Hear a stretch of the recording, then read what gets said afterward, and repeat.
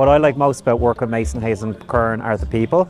I like the fact that you're encouraged to learn and improve and the opportunity comes with that. I love the culture that accompanies it and the opportunity you have to come to events like this. What I like most about working in Mason Hayes and Curran is the sense of camaraderie in the firm.